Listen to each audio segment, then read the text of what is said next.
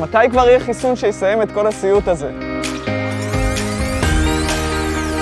הערכות אופטימיות מדברות על אמצע שנת 2021, אבל המשמעות היא, לגבי ישראל לפחות, שבחורף הקרוב, תקופה שמאופיינת במחלות נשימתיות אחרות, עדיין לא יהיה חיסון.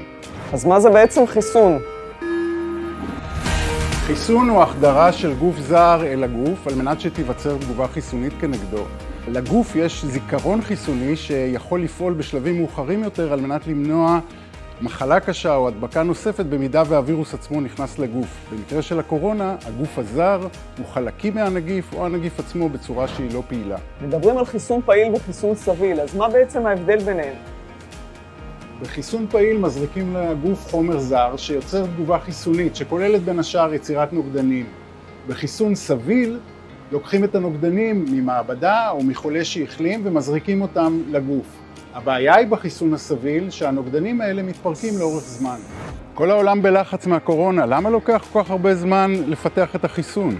בעצם תהליך האישור זה תהליך שיש לו מספר שלבים. בשלב הראשון בודקים בטיחות במינון על מספר קטן יחסית של אנשים, אחר כך מגדילים בעצם את המספרים, ובסוף בודקים על מספר גדול של אנשים בעצם את הבטיחות ואת היעילות של החיסון.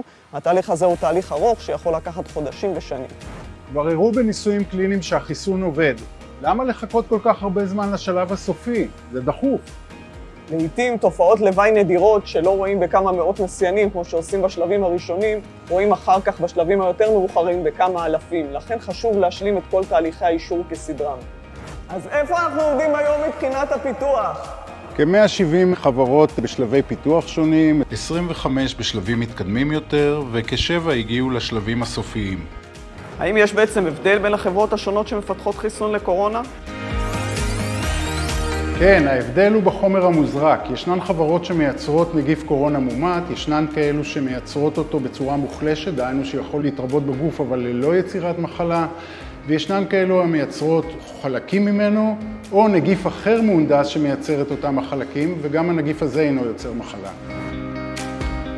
במרוץ הזה מי שינצח יהיה מסודר.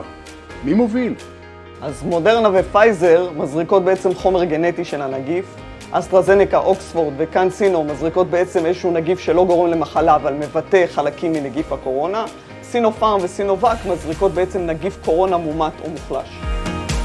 האם אחרי השגת החיסון נוכל לשכוח מהקורונה לתמיד? עדיין לא ברור לכמה זמן החיסון יהיה יעיל, יכול להיות שנצטרך להתחסן מחדש כל שנה. זה בדיוק הדברים שעדיין חוקרים. האם החיסון יהיה בטוח לשימוש? עד היום כל החיסונים שאושרו נמצאו כבטוחים לשימוש, ואנחנו מקווים שגם עכשיו זה יהיה מקרה.